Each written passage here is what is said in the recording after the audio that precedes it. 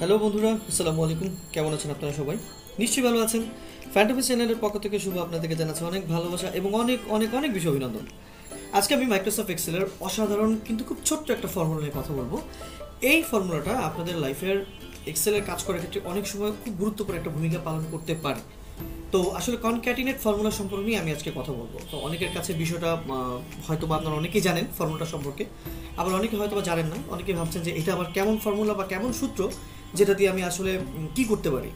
So basically যেটা হচ্ছে concatenate formula দিয়ে আপনি অনেক বড় বড় ডাটাবেসকে আপনি সুন্দর একত্রিত করতে পারেন। কনক্যাটিনেট মানে হচ্ছে একত্রিত করা, সমন্বয় করা, সুন্দরভাবে সাজানো। সো আমরা আজকে কনক্যাটিনেট ফর্মুলাটি শিখতে যাচ্ছি এবং আই হোপ আপনারা যদি একটু মন দিয়ে দেখেন, পুরো ভিডিওটা যদি দেখেন, টেনে টেনে, না টেনে টেনে দেখেন স্কিপ না করে দেখেন, তাহলে ডেফিনেটলি আপনারা কনক্যাটিনেট ফর্মুলা সম্পর্কে খুব ভালো একটা আইডিয়া পাবেন ইনশাআল্লাহ। তো চলুন ভিউয়ার্স আমরা জেনে নিই যে আসলে মাইক্রোসফট এক্সেলের কনক্যাটিন কনক্যাটিনেট ফর্মুলাটা এক্স্যাক্টলি কী। আমি এর আগেও হয়তো আমার কোনো প্রিভিয়াস একটা টিউটোরিয়াল আমি দিয়েছিলাম বাট ওটাতে সেটা ডিটেলস আমি বলেছিলাম যে ডিটেলসটা আমি দেখাবো। তো আজকে আমি এই টিউটোরিয়ালতে চেষ্টা করছি কনক্যাটিনেট কনক্যাটিনেট ফর্মুলা সম্পর্কে আপনাদের একটা বিস্তর ধারণা দিতে। সো দেখুন, অনেক সময় দেখা যায় যে আমরা অনেক সময় ডাটাবেস যখন কালেক্ট করি বা দেখা যায় অনেক ডাটাবেস আমরা দেখি যে সিরিয়াল নাম্বার থাকে ফার্স্ট নেম থাকে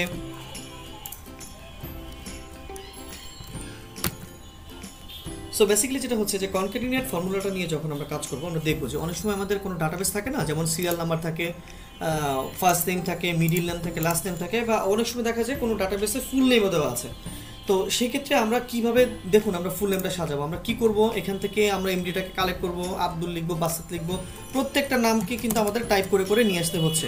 সাপোজ আমি যদি লিখি এমডি আব্দুল বাসেদ হ্যাঁ আব্দুল বাসেদ সাপোজ আমার মনে হলো আমি লিখলাম। তো এই যে নামটা আমি লিখছি, আমি কিন্তু একটা একটা করে যখন টাইপ করব বা একটা একটা করে নাম যখন লিখব, আমার ডাটাবেস মাত্র ছয়টা নিয়ে আমি জাস্ট আপনাদেরকে ডেমোটা দেখাচ্ছি। বাট আপনি যখন ছয় হাজার বা ছয় লাখ, ছয় কোটি ডাটাবেস নিয়ে এখন যখন আপনি কাজ করবেন, এভাবে একটা একটা নাম কিন্তু আপনি কপি পেস্ট করে এনে এনে বা একটা নাম কিন্তু টাইপ করতে আপনার বিস্তর সময় লেগে যাবে। তো খুব সহজ এবং খুব সিম্পল ওয়েতে আপনি কিন্তু এই মানে এই পুরো প্রসেসটাকে আপনি ইজি করে নিতে পারেন। কীভাবে দেখুন, আমি যদি কিবোর্ড থেকে আপনার ইকুয়াল টু প্রেস করে বা ইকুয়াল টুকে কল করে আমি যদি কনক্যাটিনেট ফর্মুলাটাকে কল করি, দেখুন তা কী হয়? কনক্যাটিনেটকে ডেকে আমি ট্যাব প্রেস করলাম। তাহলে ফার্স্ট এটাকে সিলেক্ট করলাম দেন কমা দিলাম। সেকেন্ডটাকে সিলেক্ট করলাম দেন কমা দিলাম। থার্ডটাকে সিলেক্ট করলাম দেন কমা দিলাম। এখন আমি যদি ইন্টার প্রেস করি, দেখুন এমডি আব্দুল বাসেদ তার মানে আমি যদি পুরোটাকে এখন টেনে দিই, কি হলো? এমডি আব্দুল বাসেদ হলো, তারপরে এমডি জামান আলম হলো, প্রত্যেকটা কিন্তু হয়ে গেল। বাট একটা জিনিসকে আমরা খেয়াল করেছেন? যখন আমি এমডি আব্দুল বাসেদ দিলাম, পুরো লেখাগুলো কিন্তু একসাথে হয়ে গেল, তাই না? তারপর এমডি জামান আলম এটা একসাথে হয়ে গেল, শেখ আব্দুল এটা একসাথে হয়ে গেল। তো এই যে বিষয়টা, এটা কিন্তু সেট হলো না। কেন হলো না? কি কারণে হলো না? এটার কারণটা হচ্ছে, এই ফর্মুলাটা যদি আপনি ছোট্ট একটা চেঞ্জ করেন, তাহলে আপনার এই ফর্মুলাটা কিন্তু অনায়াসে সুন্দর হবে। সো আমি ফর্মুলাটা কেটে দিচ্ছি, আমি আরেকবার দেখাচ্ছি। সো আমি ইকুয়াল টু সাইনকে কল করে কনক্যাটিনেটকে কল করলাম। কিবোর্ড থেকে ট্যাপ প্রেস করলাম। দেখুন, আমি প্রথমটাকে সিলেক্ট করলাম, কমা দিলাম। এরপরে আমি ডাবল ইনভার্টার দিব, দিয়ে একটা স্পেস দিব, আবার ডাবল ইনভার্টার দিব, দিয়ে আবার হচ্ছে কমা দিব, দিয়ে এই সেকেন্ডটা দিব। দেন আমি আবার কমা দিব, একটা ডাবল ইনভার্টার দিব, স্পেস দিব, ডাবল ইনভার্টার দিব, আবার একটা কমা দিব, দেন হচ্ছে এই সেলটাকে কল করব। এখন আমি যদি এন্টার প্রেস করি, দেখুন, প্রত্যেকটা কিন্তু সুন্দর স্পেসিং হয়ে গেছে এমডি আব্দুল বাসেদ এখন আমি যদি এটাকে ড্রাগ করে নিচে টেনে দিই, দেখুন প্রত্যেকটা লাইন কিন্তু সুন্দর এবং খুব সহজ হয়ে গেল। বিষয়টা কিন্তু কিছুই করি নাই। আমি জাস্ট কি করেছি কনক্যাটিনেট ফর্মুলাটাকে কল করে জাস্ট প্রথম সেলটাকে দিয়ে কমা দিয়েছি ডাবল ইনভার্টেড কমার ভিতরে একটা স্পেস দিয়েছি। দেন আবার কমা দেন সেকেন্ড সেল আবার কমা তারপর ডাবল ইনভার্টেড কমা দিয়েছি দুইবার, এর মাঝখানে একটা স্পেস রেখেছি। এখন আমি চাইলে, দেখুন, আমি চাইলে কি করতে পারতাম, এই ডাবল ইনভার্টেড কমার ভিতরে যদি একটা হাইফেন দিয়ে দিই, তাহলে কি হয়? ইন্টারপ্রেস করে দেখুন। আব্দুলের পর একটা একটা হাইফেন হয়ে গেল। আমি ডাবল ইনভার্টার কমার ভিতরে যা দিব, মূলত সেটাই আসলে নিবে। আমি যদি কমা দিতাম কমাই হয়ে যেত। দেখুন কমা দিলাম কমা হয়ে যেত। বা আমি যদি ফুল স্টপ দিতাম ফুল স্টপ হয়ে যেত। আপনি এই ডাবল ইনভার্টার কমার ভিতরে যদি স্পেস না দিয়ে অন্য কোনো কিছু দিতে চান, সেক্ষেত্রে সেটাই আপনি দিতে পারবেন, কোনো সমস্যা নাই। তো এটা যেমন হয়ে গেল তো আরেকটা প্রসেস আমি আপনাদেরকে দেখাবো, যেমন অনেকে থাকে না যে অনেক নামের শেষে আমরা কোড অ্যাড করতে চাই। সেই কোডও আপনি কিন্তু অনায়াসে এই একই প্রসেস আপনি কনক্যাটিনেট ফর্মুলার মাধ্যমে করতে পারেন। কীভাবে? কনক্যাটিনেট কনক্যাটিনেটকে কল করব দেন ওই যে সেম ওয়েতে যাব, আমি এটাও দিতে পারি, আমি এটাও দিতে পারতাম, দিয়ে আমি কমা দিয়ে যদি আমি এটা দিতাম, দেখুন, তাহলেও হয়ে যেত। Abdul Basad one zero one আমি সেম একইভাবেই, আমি কমার পরে যদি আমি একটা ডাবল ইনভার্টেড কমা দিতাম সেম ডাবল ইনভার্টেড দিতাম দেন কমা দিতাম, তাহলে আব্দুল বাসেদ একশো এক হয়ে যেত। দেন এটাকে যদি আমি টেনে নিয়ে আসি, আমার কিন্তু প্রত্যেকটার আগে কিন্তু বাই মানে বাই দা বাই আমার প্রত্যেকটার উপরে কিন্তু আমার সেই স্পেসটা চলে আসলো।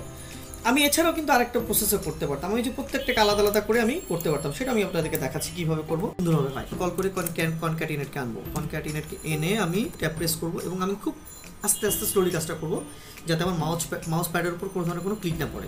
সো ফার্স্ট সেলটা আমি সিলেক্ট করলাম দেন কমা দিলাম ইনভার্টেড কমা দেন স্পেস আবার ইনভার্টেড কমা কমা দেন হচ্ছে সেকেন্ড সেল আবার কমা ইনভার্টেড স্পেস ইনভার্টেড আবার কমা দেন হচ্ছে থার্ড সেল থার্ড সেল দিলাম, তারপরে কমা ইনভার্টেড তারপর হচ্ছে স্পেস ইনভার্টেড কমা এই হচ্ছে লাস্ট সেল। এখন যদি আমি এটাকে ক্লোজ করে দিই দেন হয়ে গেল। দেখুন এমডি আবুল বাসের একশো এক, তার কোড এখন আমি যদি টেনে ড্রাগ করে নিচে দিয়ে দিই, তাহলে দেখুন, সুন্দরভাবে কিন্তু আমার প্রত্যেকটার মধ্যে আমি সেমভাবে আমি স্পেসটা ঠিক রাখতে পারলাম দেন হচ্ছে আমি আমার কোডটা বসাতে পারলাম।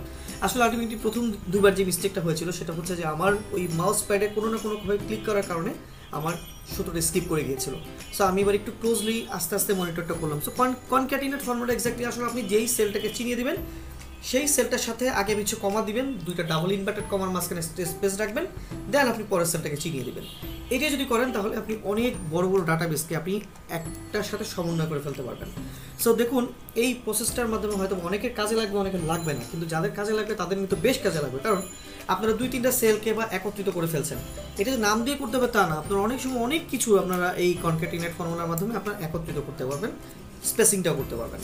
সো এই ফর্মুলাটা যদি আপনাদের বিন্দু মাত্র কারও ভালো লেগে থাকে, তাহলে আমি আশা করব আপনারা সাবস্ক্রাইব করবেন লাইক করবেন শেয়ার করবেন এবং যদি ভিডিওটা ভালো লেগে থাকে, তাহলে অবশ্যই আপনারা আমার নেক্সট টিউটোরিয়ালগুলো দেখার চেষ্টা করবেন। সো ভিউয়ার্স আজকে এই পর্যন্তই। আশা করছি কনক্যাটিনেট ফর্মুলার সম্পর্কে আপনার একটা ন্যূনতম ধারণা আমি দিতে পেরেছি। আমার সর্বোচ্চ চেষ্টাটাই আমি করেছি। সো আই হোপ আপনাদের ভালো লাগবে। আর ভালো লাগলে অবশ্যই আপনারা আমার সাথে থাকবেন। আমার পরিবারের অংশ হয়ে যাবেন।